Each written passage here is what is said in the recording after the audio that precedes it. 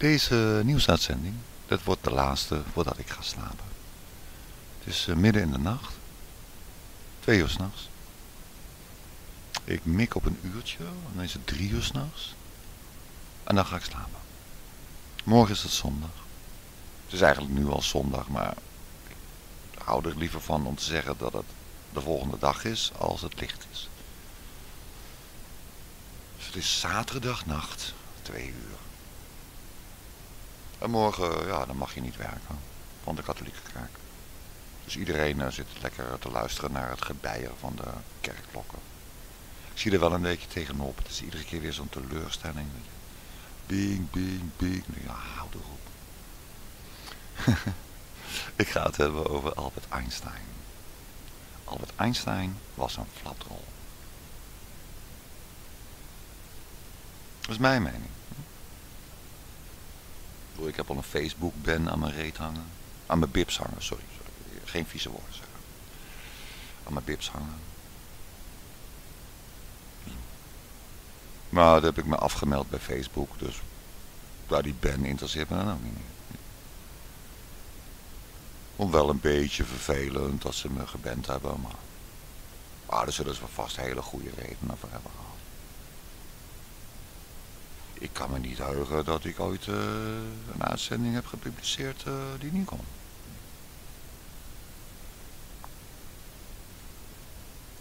Maar dit zal ze waarschijnlijk ook helemaal in het verkeerde keelgat zijn geschoten.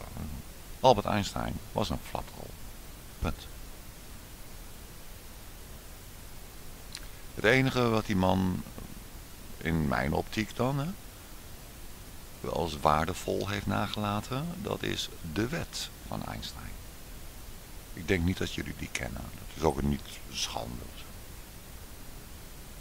Best een ingewikkeld probleem hoor. Het gaat als volgt. Uh, een uh, volslagen dronken man, zeg maar een, een zeeman, hè?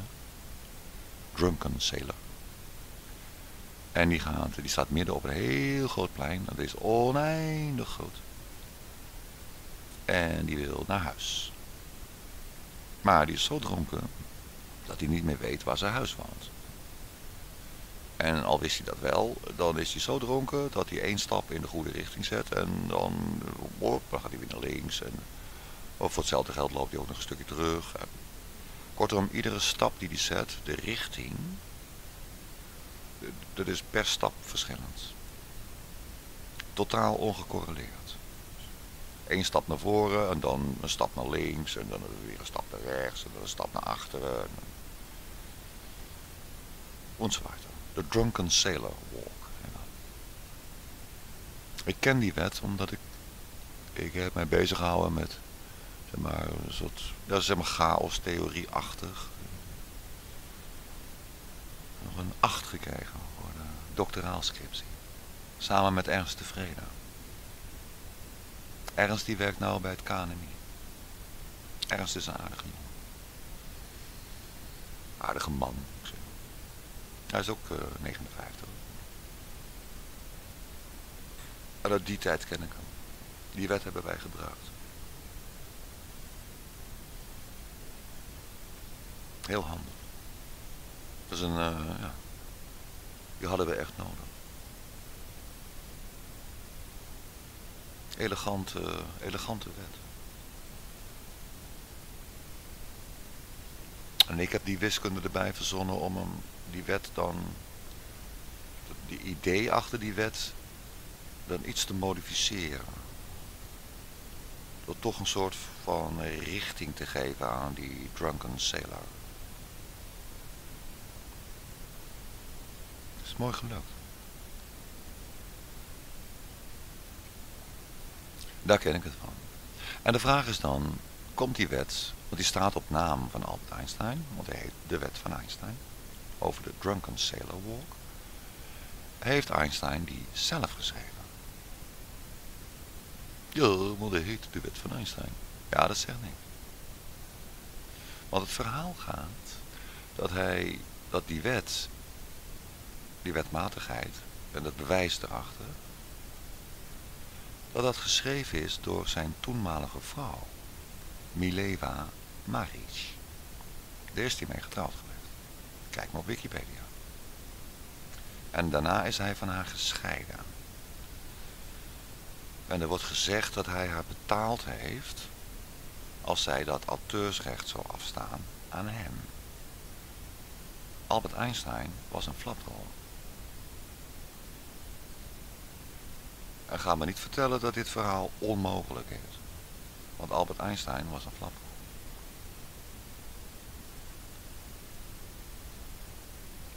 En Mileva Maric, die is cum laude afgestudeerd in wiskunde. Dat was een bolleboes. Zie je wel, vrouwen kunnen het wel. Behalve dat die Mileva Maric zo dom was om te trouwen met zo'n flapdrol als Albert Einstein. Denk ik niet de handigste carrière move die ze gemaakt heeft.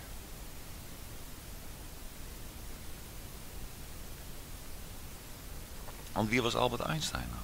Hij studeerde natuurkunde in Duitsland. Daar had hij een 7 of zo gehaald. Dat is alles. Dat is ruim voldoende. Maar niet cum laude. En dan zit iedereen natuurlijk nou te popelen van ja, wanneer begin je nou over de relativiteitstheorie? Nou, mijn eerste vraag aan jou is, welke relativiteitstheorie? Geef je 10 seconden. Nou, er zijn er wel geteld twee. De ene heet de speciale relativiteitstheorie. En die andere heet de algemene relativiteitstheorie. Laten we beginnen bij de eerste. Die ken ik. Die theorie. Niet de hele wiskunde erachter. En dat gaat dan over het fenomeen van wat, is, wat gebeurt er als een object, of nee, als een waarnemer met de lichtsnelheid gaat reizen. Nou, dan gaan we even kijken waarover je spreekt als je het hebt over de lichtsnelheid. Dit wordt heel leuk. Albert Einstein had maar een 7 voor natuurkunde. Maar... Nou, de lichtsnelheid is 300.000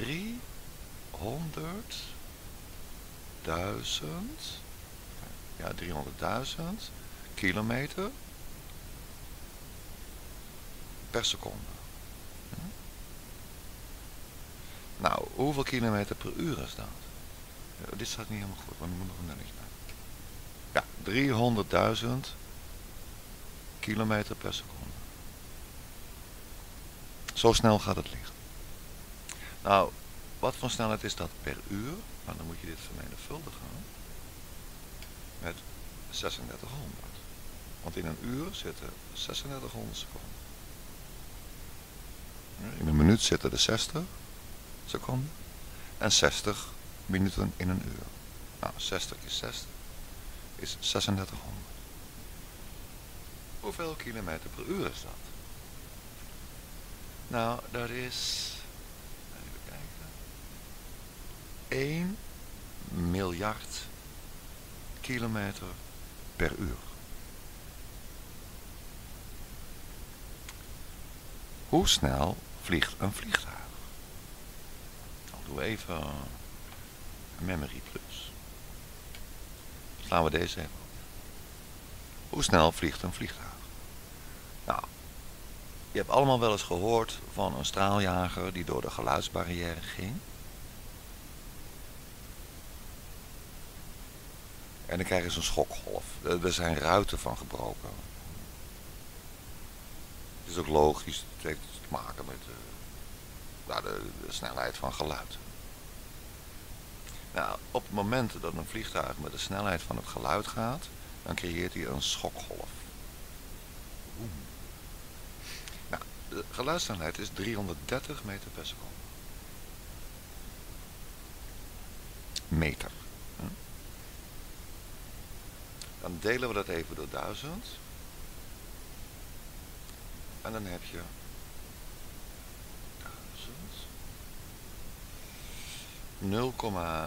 0,33 kilometer per seconde.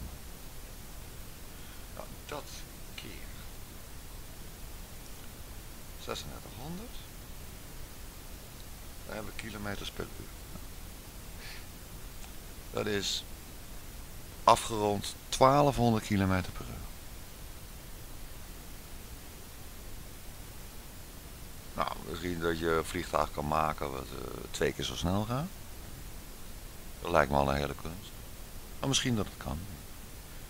Dan zit je niet op 1200, maar op 2400 km per uur. Laten we zeggen 3000 km per uur. 3000 km per uur. En dat vergeleken met de lichtsnelheid. Ik heb maar twee, nou 3000 km per uur moet je even onthouden. 3000 km per uur vergeleken met 1 miljard kilometer per uur.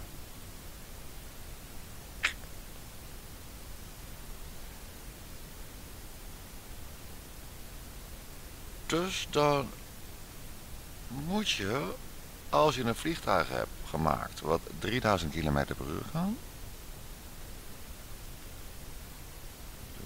1 miljard gedeeld door 3000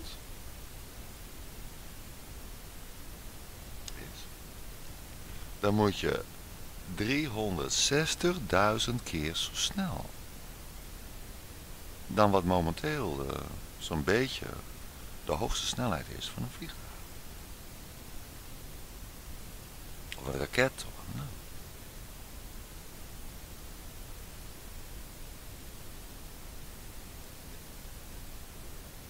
Waar maak je je zorgen over?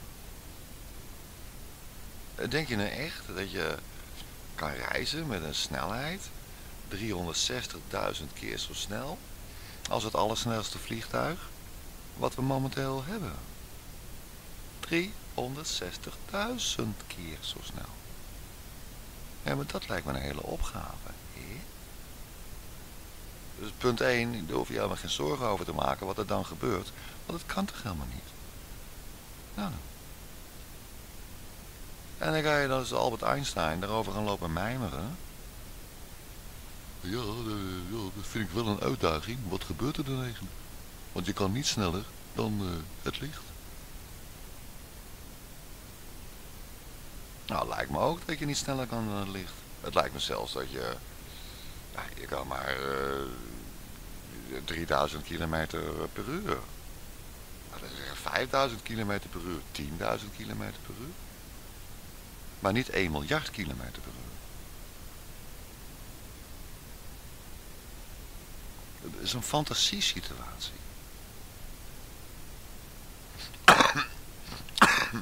en wat meneer Einstein dan nog zegt. En daar zit een... Uh, dat is echt heel lelijk hoor. Want hij heeft een boekje geschreven en het heet Mijn Theorie. Dat heb ik in huis gehad. Dat ben ik kwijt. Jammer. Iets te vaak verhuisd. Of de kat heeft het opgegeten. Of nog dommer, ik heb het uitgeleend. Ja, dat moet je vooral doen in een boek. Dat krijg je nooit meer terug. En daarin zet hij in zijn inleiding een uitermate aparte opmerking. En het gaat over het begrip tijdstip. En hij stelt dat het tijdstip wordt bepaald door het tijdstip waarop de waarnemer de gebeurtenis waarneemt.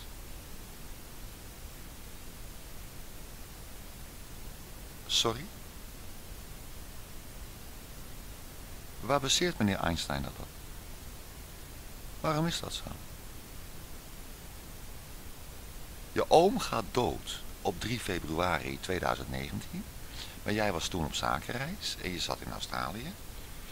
En daar was even geen internet. Je zat in, eh, in de bush bush. En je hoort het pas in uh, juni. Ja, wanneer is je vader dan overleden? Op het moment dat jij het waarnam? Of op de datum van de rouwkaart?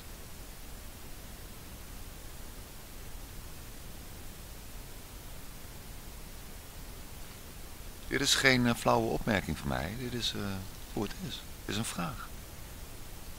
Waarom wordt Het tijdstip van een gebeurtenis bepaald door de tijdstip waarop een waarnemer het waarneemt.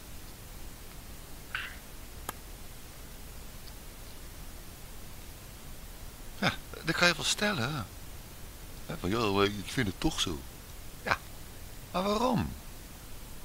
Nou, eh, omdat ik dat zo vind. Ja, maar dat is dan jouw idee. Hè?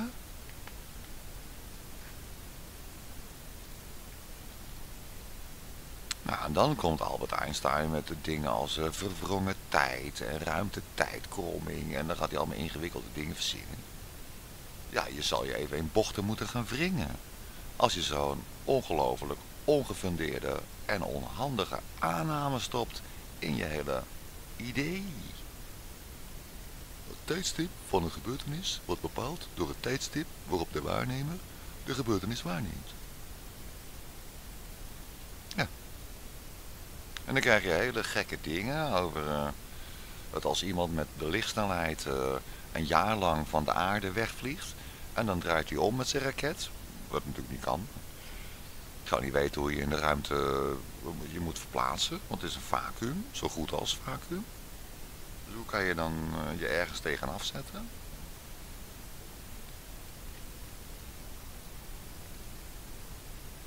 Maar goed, we blijven er lekker bij. Hè? En dan komt die, eh, die astronaut die komt weer terug met de lichtsnelheid. En die man is twee jaar onderweg geweest. Eén jaar heen, één jaar terug. En dan kan meneer Einstein uitrekenen dat in de tussentijd op aarde is er 6000 jaar verstreken. Iedereen, oh, oh wat erg. Nou, uh, nou, maar dan ga ik nooit met de lichtsnelheid met een raket naar buiten en dan weer uh, omdraaien en weer terug. Want dan ben ik nog uh, ja, net zo oud, ja, twee jaar ouder als toen ik, als toen ik vertrok. Maar ja, er zijn er wel op aarde 6000 gedeeld door 25. Dus hoeveel is dat? 600 generaties voorbij. Dus niemand ken ik meer. Ja, maar je kan helemaal niet met de lichtsnelheid naar buiten. Dus waar maak je nou zorgen over?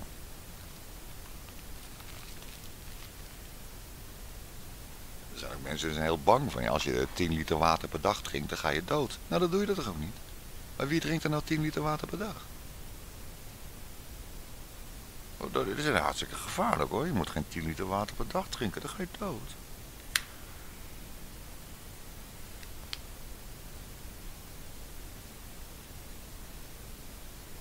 In de tijd dat ik dus heel veel bier dronk, had ik het over 3 liter per dag. Dat was niet helemaal water, dat was 90% water en de rest was alcohol. Maar dan heb je het echt zo'n beetje gehad. Je, dan moet je pissen, man. En trouwens, je hebt eerder last van die alcohol dan van dat water. Maar 10 liter water moet je niet doen. Erg slecht voor je lichaam. Kan dodelijk zijn. Maar daar hoef je niet bang voor te zijn, want dat doe je toch niet.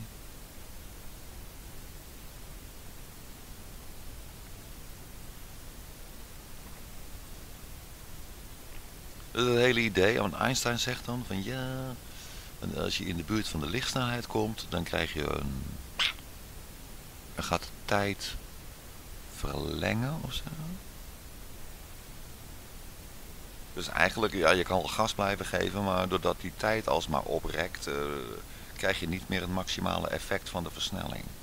Ja, dat kan je wel zeggen. Maar je aanname, waar, komt dat allemaal vandaan, man? Je hebt die aanname gedaan van het tijdstip van de gebeurtenis, wordt bepaald door het tijdstip van waarop, de tijdstip waarop de waarnemer de gebeurtenis waarneemt.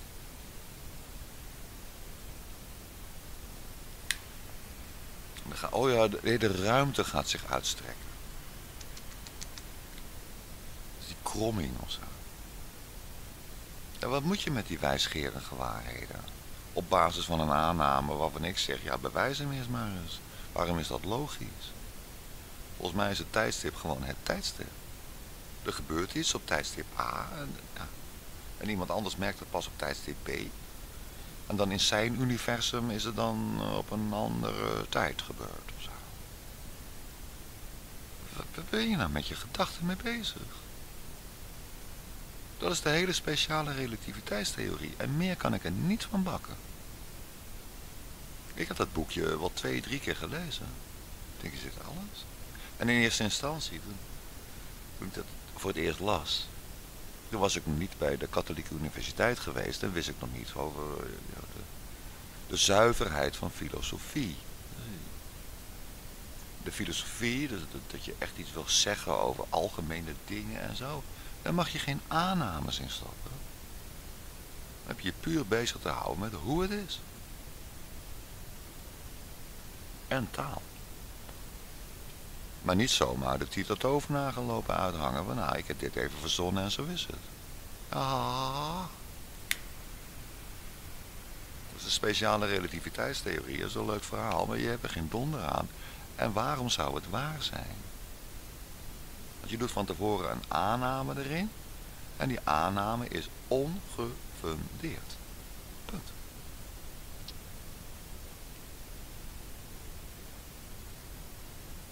Uh, neem ze iets als een supernova. Dat is zo'n ster die gaat... Uh, pff, ja, dat zien wij pas een stuk later. Dat klopt. Maar wij weten hoe ver een ster van ons verwijderd is. Dus we kunnen dat zo terugrekenen. Want we zien nu een supernova. Dus op dit moment is in dat deel van het universum... is dat ding al lang geëxplodeerd. Namelijk uh, zoveel duizend jaar geleden. Ja, dus het tijdstip van die explosie was niet waarop je die explosie waarneemt. Nee. Je neemt die tijd, die, die neemt het waar op een bepaald tijdstip, maar je weet dat het een heel eind weg is. Dan trek je toch uh, de afstand en, en, en, dat iets met lichtsnelheid en dan trek je er zoveel seconden vanaf.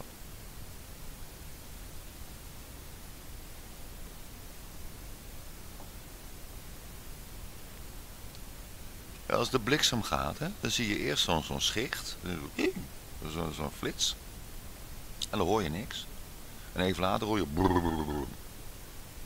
Ja, want de, licht, de, de geluidssnelheid is maar 330 meter per seconde. Ja, wanneer heeft dan die blikseminslag plaatsgevonden? Op het moment dat je de donder hoorde rollen of toen je de lichtflits zag?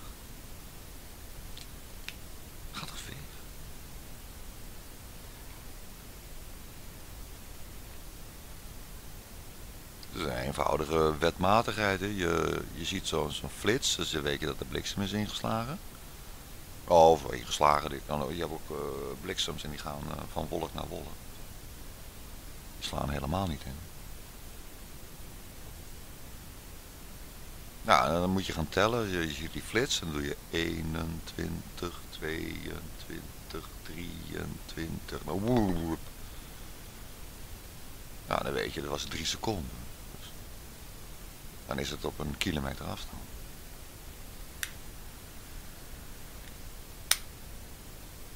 Klaar.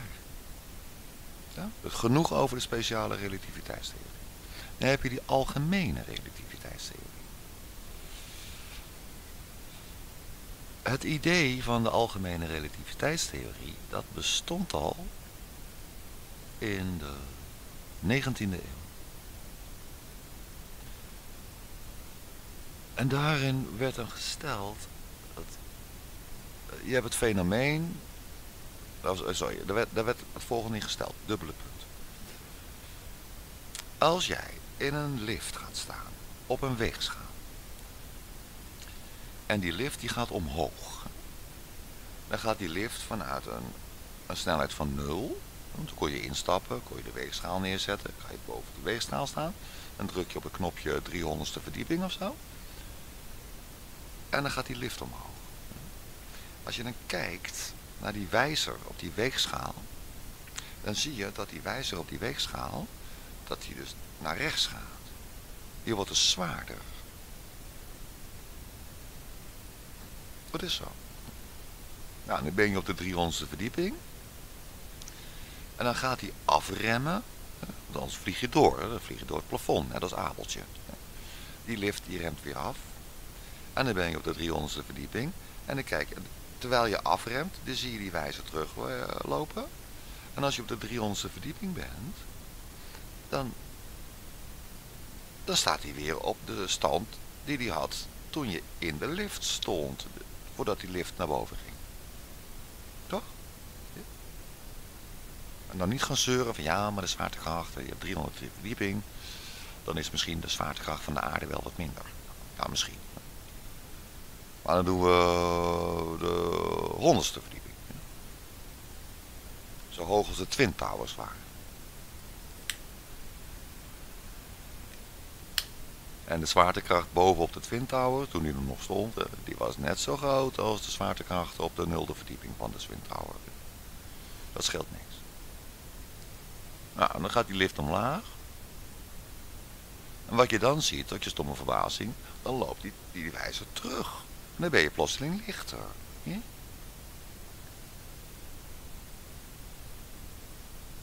En dan heb je hetzelfde fenomeen, maar dan omgekeerd. En als dan die lift beneden is, dan moet hij weer gaan afremmen. En dan word je weer zwaarder. Maar als je dan weer de, de snelheid nul hebt. Ja, precies. Hij wordt een stuk lichter en dan gaat hij afremmen. En dan, en dan loopt die wijzer weer naar rechts. En waar stopt die wijzer? Nou, precies. Bij het gewicht wat je hebt. Je massa en iets met 9,1 meter per seconde kwadraat.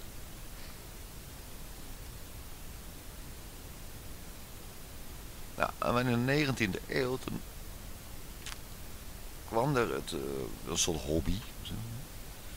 Dat ze dachten van ja, kunnen we dan een, een zwaartekrachttheorie opstellen?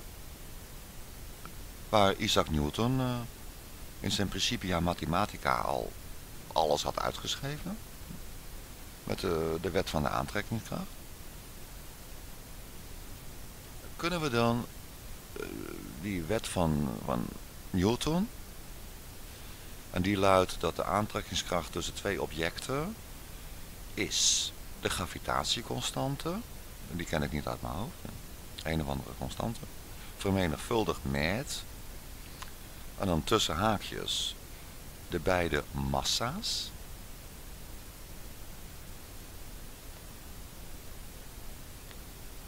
Die moet je vermenigvuldigen.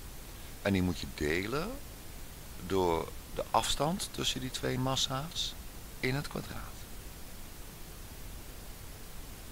Dus stel de aantrekkingskracht tussen twee objecten is 1 als ze op 1 meter afstand zitten. En als je dan die afstand verdubbelt, dan is de aantrekkingskracht nog maar een kwart. En als je dan die afstand drie keer zo groot maakt, dan is die aantrekkingskracht nog maar uh, achtste. Dat zegt Newton. En die klopt. Daarmee kan je prima bepalen hoe zwaar de maan is. Als je weet hoe zwaar de aarde is. En dat weten ze ongeveer.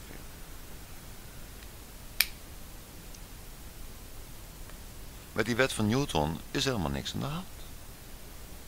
Iedere bouwkundig ingenieur gebruikt die wetmatigheid met die aantrekkingskracht.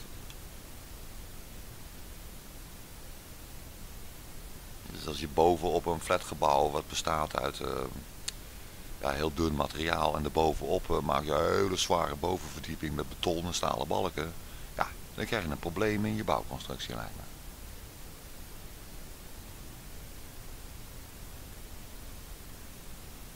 Er, er, was niks te repareren. Het was een hobby van wiskundigen in die tijd om te kijken of het mogelijk is dat je de zwaartekracht niet langer ziet als een aantrekkingskracht tussen twee objecten, maar dat je het ziet als een, dat er een soort afremming is.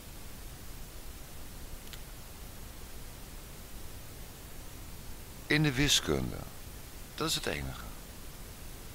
Maar is het mogelijk om eh, dat wat uh, Isaac Newton dan uh, geformuleerd heeft, wat een hele elegante, simpele wet is.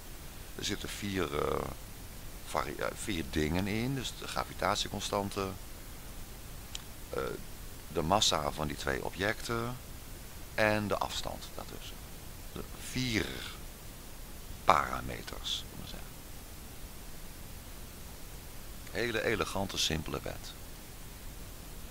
Nou, dan was het idee van, nou, eh, kan, kunnen we dat op een andere manier wiskundig uh, formuleren. En dat lukte geen hond. En toen heeft Einstein de edele taak op zich genomen om dat ook te gaan proberen. En deed meneer Einstein dat in zijn eentje? Nee. Albert Einstein was de teamleider van een groep wiskundigen. En hij schijnt een ontzettend vervelende teamleider te zijn geweest. Waar wiskundigen die voor hem hadden gewerkt, dachten van nou voor die eikel, ik houd hem op. Voor die flapdrol. Die een beetje uh, de baas lopen spelen. En uh, waarom is dit niet af en waarom is dat niet af? En, ik had al, en op deze manier, dan gaan de koppen rollen. Bah. Stomme slavendrijver. Nou, dat vind ik van Einstein.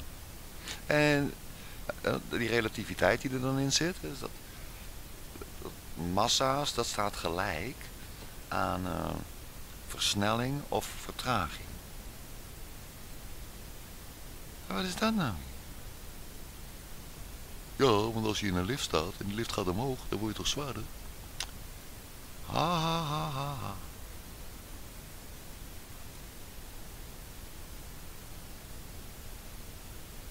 Nee man. Ja, dus, ja, ja, natuurlijk wordt het zwaarder. Jij man? Ben je verder gek? Dat is logisch? Als jij in een auto zit en je geeft goed gas, ja, dan, word je achter in je stoel gedrukt. En als je in een auto zit en je gaat op de rem staan, ja, dan ga je naar voren. Ja, natuurlijk. Wat is dat nou?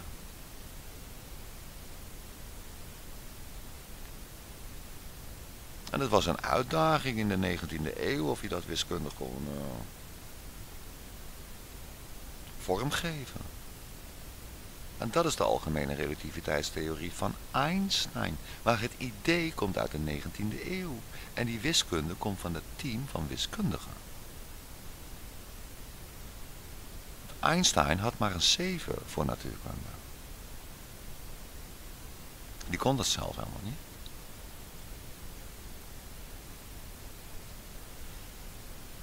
En wat heb je eraan? Die, die wet van Newton, die aantrekkingskrachtwet, law of attraction, is heel elegant.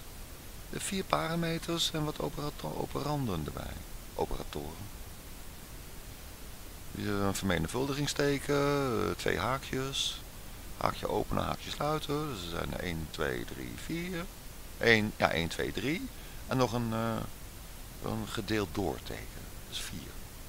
Dus vier parameters en vier operatoren. Als je haakjes wil zien als een operator.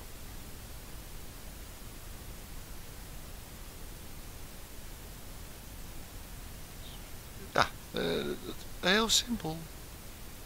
En iets wat zo elegant en zo simpel is, dat ga je lopen verbeteren met een team van uh, etterlijke wiskundigen. Met een slavendrijver erboven en die heet Albert Einstein.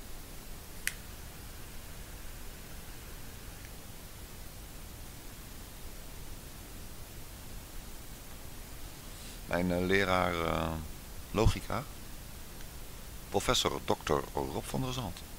Aardige man. Die, zei, die vertelde mij een anekdote van, uh, ja, van Albert Einstein wordt een verhaal verteld. Dat er bij hem in de buurt een, een meisje was.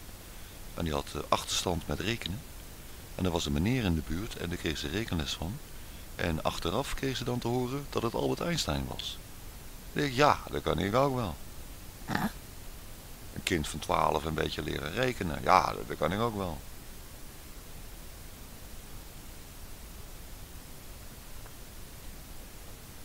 Rob van der Zand die keek echt een beetje gelukzalig. Van, nou zie je wel, de Albert Einstein was een heel sociaal iemand.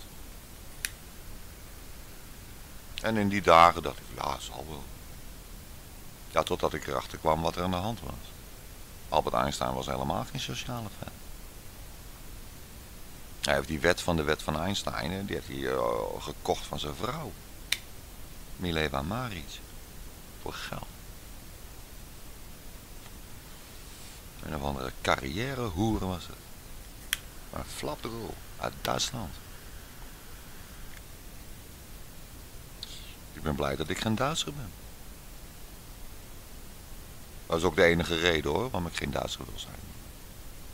Maar Adolf Hitler was een Oostenrijker.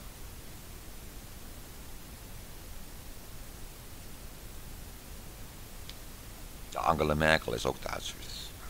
Er zijn wel meer Duitse flaprollen. Maar ja, wij Nederlanders hebben ook zo onze flaprollen hoor. Eh, geen enkele reden om met een, wijzend vingertje naar eh, Duitsers te kijken. Jee. Angela Merkel is echt niet zoveel beter dan onze, ons parlement bij elkaar. Stuk voor stuk.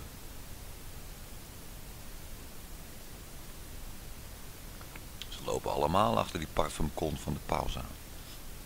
Om het maar even op zijn Frans te zeggen. Uh, parfumpips. Ik zou geen vieze woorden zeggen. Albert Heijn is helemaal niks. Dat is een fenomeen. Een soort uh, Milli Vanilli. Dat was zo'n namaakband. Uh, eind jaren 80, begin jaren 90. Dat waren fotomodellen, die stonden erna. Uh, het ook, uh, playback. Maar die hele tape die was ingezongen door een aantal studiozangers. Ha ha ha ha ha. Lip sync of zo. Nee, playback. Ja, playback. Je doet alsof je zingt. Maar de muziek die, of de, wat je hoort, dat komt van een bandje. Dat is dat. Er zijn wel meer van die fenomenen hoor. Die helemaal de hemel ingeprezen worden. Zoals Charles Darwin. Die heeft ook nooit wat gepresteerd. En iedereen vindt hem de beste uitvinding sinds het gesneden brood. Waarom eigenlijk? Ik lees een boek van een, uh, over... Ik heb hier een boek in huis van Jordan. Die maakt gehakt van, van uh, Charles Darwin. Maar Jan met de pet en Mien met de plu... Ah, die ziet het in de krant staan. Die denkt, oh, het is binnenkort weer Charles Darwin jaar. Oh, is wel... oh, dan moet Charles Darwin wel heel belangrijk zijn geweest. Ja, totdat je dat boek gaat lezen, The Origin of Species. Dan denk je, wat is dit voor bagger?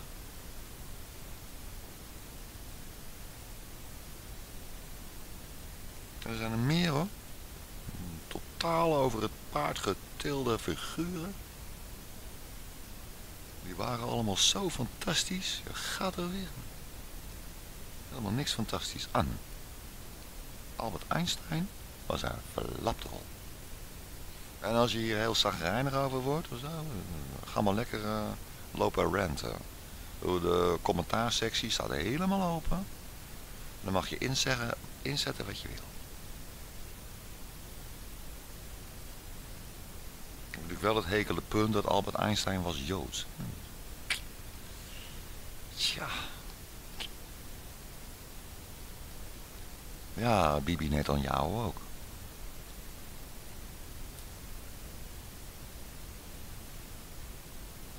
Je weet al die andere succesnummers uh, van die Joden.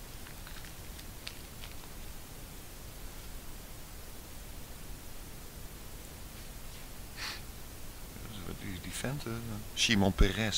Joek.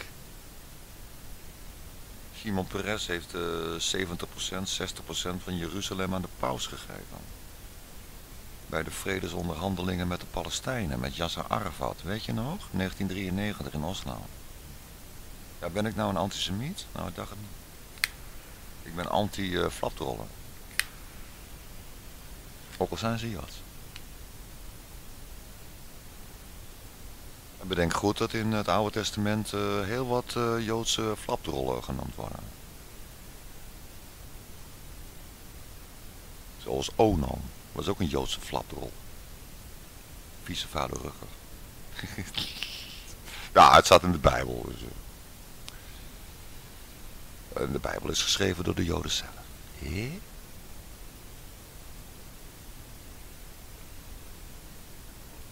Maar bekijk maar of je hierover wil schelden. Misschien heb je wel een andere mening. Dat vind ik niet erg hoor.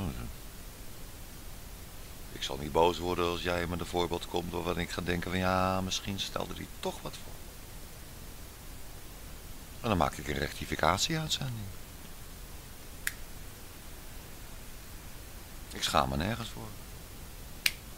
Deze mening heb ik niet geformuleerd eh, in het afgelopen half uur. Nee, man. Dit weet ik al jarenlang. Eh, deze mening heb ik al jarenlang.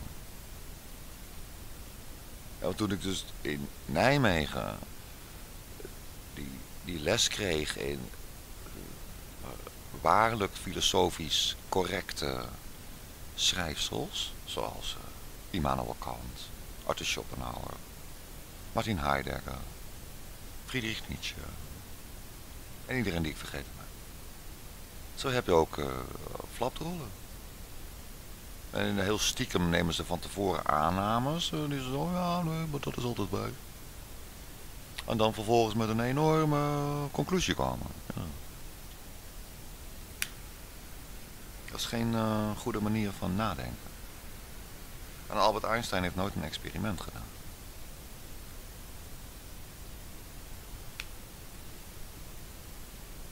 Het enige bewijs van Einstein, dat is er eentje geweest, dat ze atoomklokken, die, die liepen dan synchroon. En die ene atoomklok, die lieten ze staan op de luchtmachtbasis. En die andere atoomklok, uh, die werd in een uh, straaljager gezet. En die vloog een rondje om de aarde. Zo hard mogelijk. En toen bleken die klokken niet meer synchroon te lopen. Hm. Dat zal. Ik ben er niet bij geweest bij dat experiment.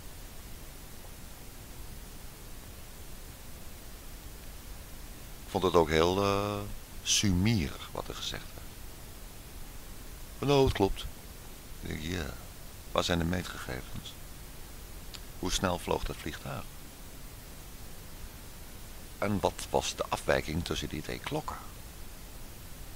Nou, en dan heb je dan ook nog uh, dat er ontdekt is dat een ster, die dan eigenlijk weer achter de zon zat. Maar die kon je dan toch zien. Ja, dat kan ik ook wel verklaren uit het feit dat een foton is niet gewichtloos. Heeft een heel klein gewicht. Maar een elektron, een foton, whatever, het heeft een gewicht. En wordt beïnvloed door een massa, zeker ja, door een massa en een massa van de zon is enorm ja, dat, dat schijnt die ster, die zit achter de zon. En nou, die kan dus niet direct naar de aarde stralen.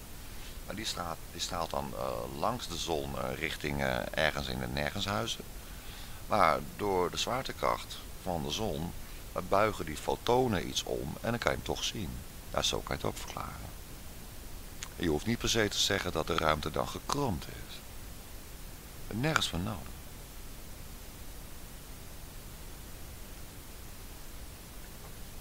En los daarvan, eh, die hele eh, algemene relativiteitstheorie. Dat is dus niet van Einstein zelf. Het idee kwam uit de 19e eeuw. De wiskunde kwam van een team van wiskundigen. En die werd aangestuurd door Einstein. Einstein zat een beetje een pijp te roken in zijn uh, kantoortje. En een beetje uit te kijken op die wiskundigen of ze allemaal wel netjes aan het wiskunde maken waren.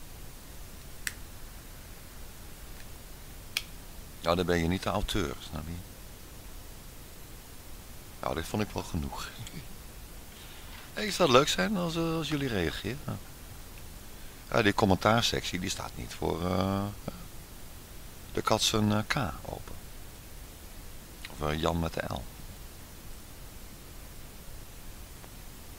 Nou, en omdat ik zo dankbaar ben dat jullie geluisterd hebben.